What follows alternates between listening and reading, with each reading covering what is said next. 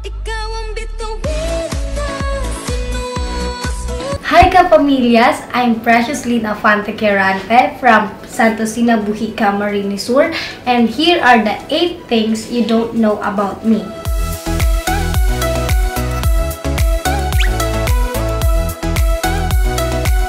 First, nagsusuka po ako sa van or sa bus po kapag po nalulula po ako. Pangalawa din po, hindi po ako kumakain ng galunggong tapos bangus po. Pangatlo po, ayoko pong pinapakalaman po yung gamit ko po na walang paalam. Pang-apat po, gustong gusto ko po makita si Ate Vice po kasi ano ko po talaga siya, favorite ko po talaga siya. Panglima po, may pangarap po talaga akong gusto ko pong marating pero po na, parang sa tingin ko po hindi na po yun maano po matutupad.